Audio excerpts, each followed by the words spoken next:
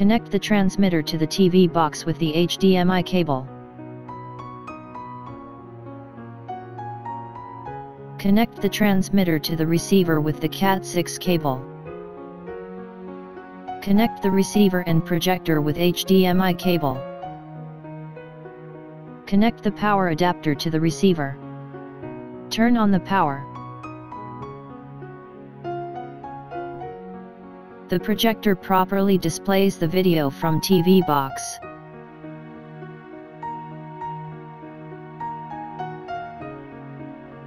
Connect the USB port of the transmitter to the TV box. Connect the keyboard and mouse to the receiver.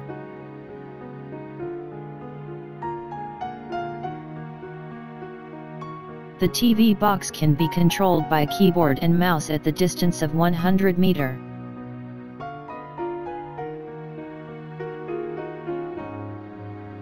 Connect the USB drive to the receiver.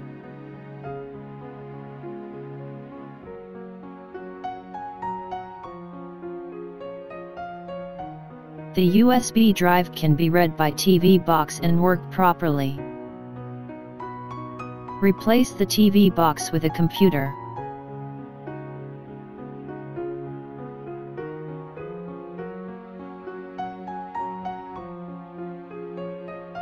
And the keyboard and mouse work properly.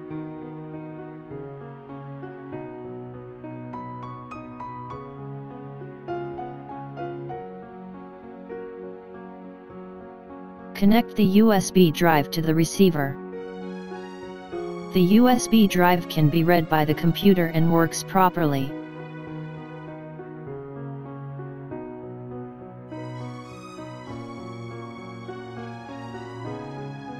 The keyboard, mouse, even the USB drive work properly under BIOS.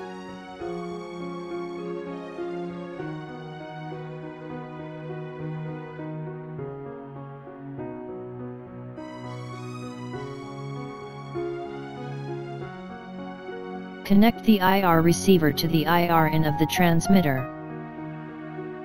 Connect the IR transmitter to the IR out of receiver.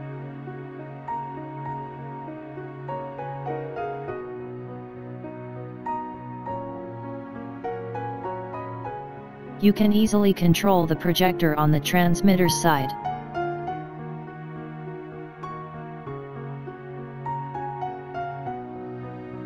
The same. Connect the IR receiver to the IR in of the receiver.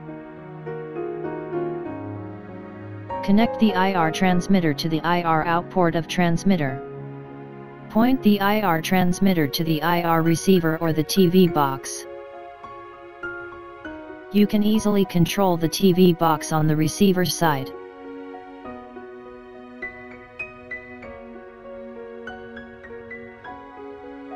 Connect the RS-232 port of the transmitter to the computer's RS-232 port. Connect the RS-232 port of the receiver to the projector's RS-232 port. Send RS-232 code with serial debugger tool. Here is an example of switching the input source of projector to VGA.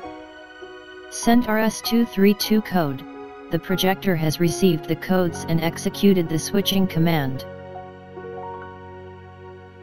Take the shutdown command as an example. Send the shutdown command. The projector has successfully received the command and going to standby.